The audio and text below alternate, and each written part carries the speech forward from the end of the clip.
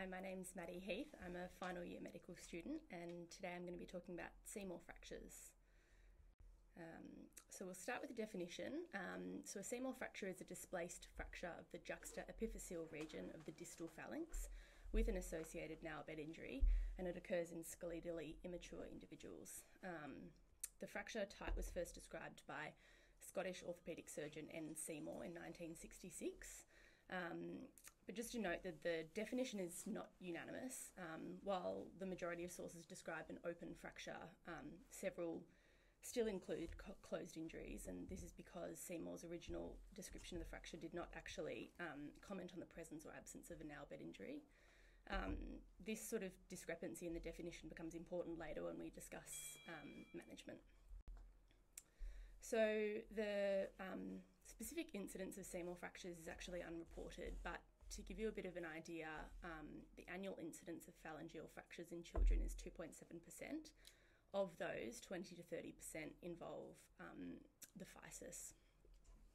So, um, in terms of the um, anatomic location of Seymour fractures, um, the most common site of injury is the middle finger. Um, there are three types of physeal fractures that are recognised. Um, the first is metaphyseal fractures that are one to two millimetres distal to the epiphyseal plate, and the second and third are the Salter Harris type 1 and 2 fractures. And finally, you can um, sort of classify the type of nail bed injury, so um, either a simple nail bed laceration, um, nail plate subluxation, or, or interposition of soft tissue at the fracture site. So, most commonly, these injuries occur as a result of direct trauma or crush injuries. So, for example, children playing sport or having their finger caught in the door. Um, and the injury causes this sort of characteristic flexed posturing of the distal phalanx. Um, and this is ultimately due to um, an imbalance between the location of the flexor and extensor tendons at the level of the fracture. So you can sort of see here in the image that um, the extensor tendon inserts into the epiphysis of the distal phalanx, while the flexor tendon inserts into the metaphysis of the distal phalanx. Um, so given the extensor tendon insertion is more proximal than the flexor tendon, and the fracture occurs between the two, um, the flexor tendon sort of um, overrides the, the extensor tendon and results in this flex, um, sort of characteristic flexed posturing.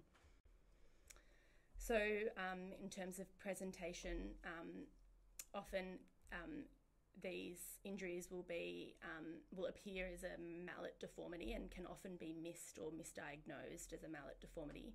Um, characteristically, there'll be um, a significant amount of ecchymosis and swelling, and you may notice the nail plate lying superficial to the eponychial fold, and that'll sort of um, present itself as the lunula appearing large and possibly um, longer than the nail plate on the contralateral uninjured side. So, um, in terms of imaging, um, on plain x-ray on the PA view, um, the, the finger may appear normal. You may be able to see a widened physis, but it's really on the lateral view that um, the injury can sort of be appreciated. This is where you may see a widened physis or displacement between the epiphysis or the met- and the metaphysis, or um, you may also see apex dorsal angulations, so you know that fixed, so that flexed posturing of the finger.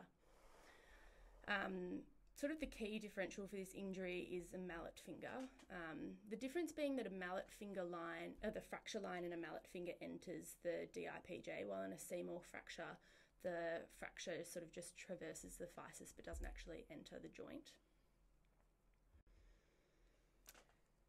So um, the management um, of Seymour fractures um, is sort of, I suppose, debated, and that's a result of um, the sort of um, discrepancy in the accepted definition.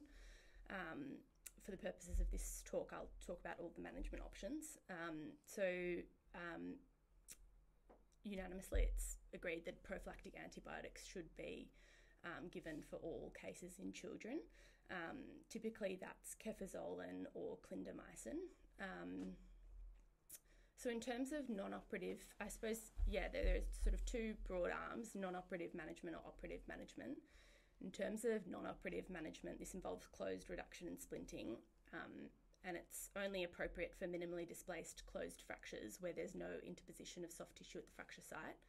Um, but as I've mentioned, that this sort of approach requires um, acceptance of the um, definition of there being a clo- uh, of a Seymour fracture being a closed, being possibly being a closed fracture. Um, then, in terms of the operative management, there are again two options. So, either closed reduction and pinning across the DIPJ. Um, this is for closed fractures where there's no interposition of soft tissue at the fracture site, um, but where the flat fracture is displaced.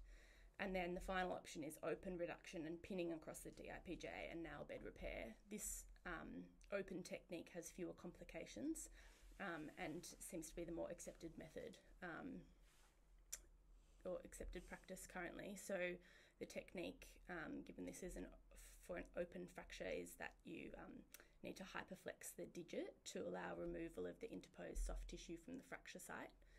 Um, it requires thorough irrigation and debridement, and then anatomical reduction of the fracture, and with retrograde K-wire fixation that crosses both the fracture site and the DIPJ, and finally um, repair of the nail bed injury.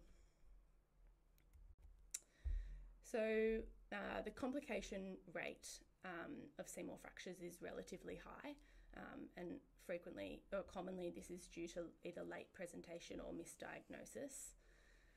Uh, the complications include nail dystrophy, um, growth disturbance of the distal phalanx and nail, secondary fracture displacement, chronic osteomyelitis, and this is um, mostly due to failure to treat the fracture as an open fracture, um, and finally a flexion deformity. So, in summary, um, Seymour fractures are displaced distal phalangeal physeal fractures with an associated nail bed injury. Um, clinically, they're diagnosed with the presence of the nail plate lying superficial to the eponychial fold, um, but on a plain radiograph, you may see a widened physis or dorsal angulation. Um, no, I note that the complication rate is high, um, and it's um, particularly so if uh, the, these fractures are left um, untreated or misdiagnosed. And um, the management typically centres around antibiotics, open reduction, and pinning across the DIPJ with nail bed repair. Um, and these are my references. Thank you.